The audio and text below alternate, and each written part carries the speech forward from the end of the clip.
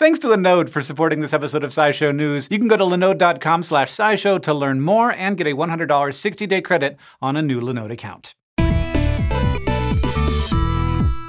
Mars is often thought to be a cold, dead hunk of rock. No liquid water, no geologic activity, no life. Unless you count that rover that sang itself happy birthday. But over the past few years, we've realized that not all of this is entirely true. The red planet has quakes, and according to a paper published this week in Nature Astronomy, there might be molten rock churning beneath the Martian crust, too. On Earth, most of our volcanic and seismic activity happens where two tectonic plates smush up against each other like the ring of fire that borders much of the Pacific Ocean. But thanks to mantle plumes, hot columns of rock that bubble up from deep within the Earth, we can get volcanic and seismic activity in places like Hawaii, smack dab in the middle of that ocean. The volcanoes that form atop mantle plumes are known as hotspot volcanoes, and one of them, Mauna Loa, recently started erupting after a 38-year nap. Meanwhile, over on Mars, the last known volcanic eruption was somewhere between 53,000 and 210,000 years ago. Now, the heyday of Martian volcanism ended over 3 billion years ago, and for most of the time humans have been exploring Mars,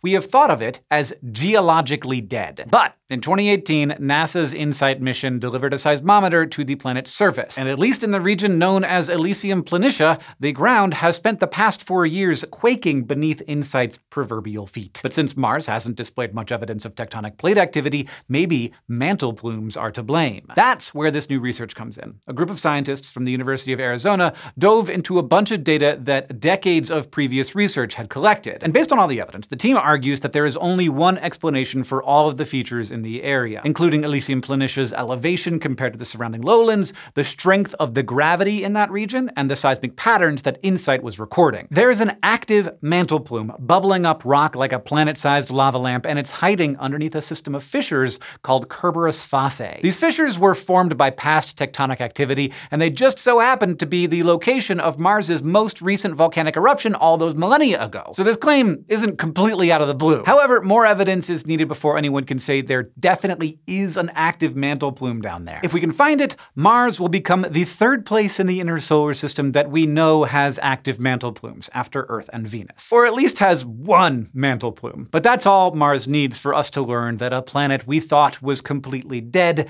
has just been mellowed out in its old age. Speaking of volcanoes, there's another natural disaster in Mars news this week. According to research published last week in Scientific Reports, scientists may have found the source of an ancient mega tsunami. Modern Mars might be a planet-wide desert, but scientists have suspected for decades that past Mars was a completely different story. In 1972, the Mariner 9 spacecraft spotted what looked to be ancient flood channels near the Martian equator.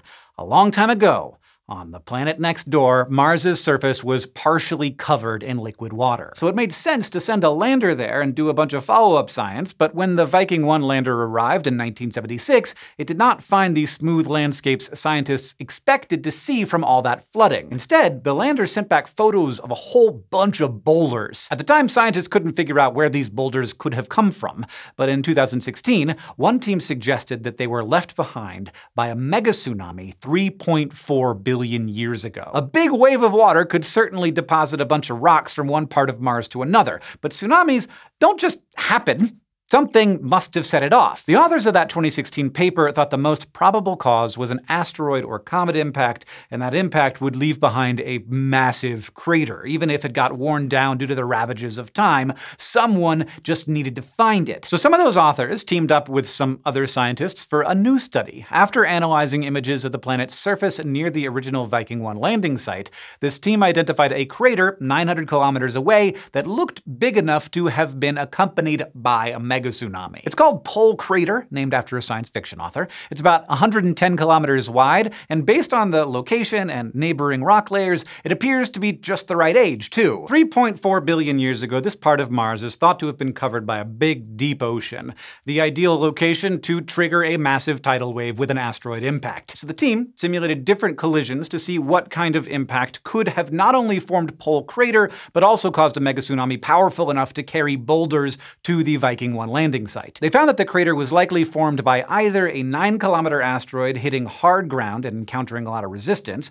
or a 3 kilometer asteroid crashing into more brittle ground. They determined that the second scenario was a better fit to the geologic record, and while both scenarios created tsunamis that could correctly restructure the coastal areas, a larger asteroid hitting stronger ground would have caused extra flooding beyond where the record suggests. In the 3 kilometer brittle ground simulation, the resulting wave would have been about 250 meters tall when it moved onto land. And if all this sounds vaguely familiar to you, that might be because this impact has a lot in common with a rather famous event on Earth. Around 66 million years ago, an asteroid crashed into the water just off the coast of the Yucatan Peninsula. It left behind a 110 kilometer wide crater, roughly 200 meters below sea level, and caused a tsunami around 200 meters tall on land. And it also helped kill off the non-avian dinosaurs, which we don't think were on Mars, so that's a difference. But it's possible that the water the asteroid smashed into had evolved some kind of life. Scientists will just have to keep up the search. And one day, maybe we will discover that the Mars of today is more than just geologically alive. Thank you to Linode for supporting this SciShow News video. Linode is a cloud computing company from Akamai made for all levels of computer-savvy users. Whether you're working on a personal project or managing your enterprise's infrastructure, Linode has the pricing, support, and scale you need to take your ideas to the next level. With Linode, you can easily scale your resources up or down, use only what you need, and only pay for what you use. Linode has been in the cloud computing game since 2003. Along the way, they've figured out the best balance of technology and price for your needs. And Linode is giving you incentive to try it out. Using the link in the description or linode.com slash scishow, you will get a $100 60-day credit on a new Linode account. Enjoy.